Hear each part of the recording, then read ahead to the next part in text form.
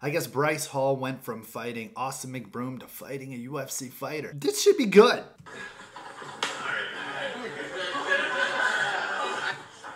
Bruce, with that basket. Oh, there it is. That's the one. All right, J Rock Rice next. One. He's good. He's good. He's good. Wow. Is it wrong for me to say that Bryce Hall looked better in that than against Austin?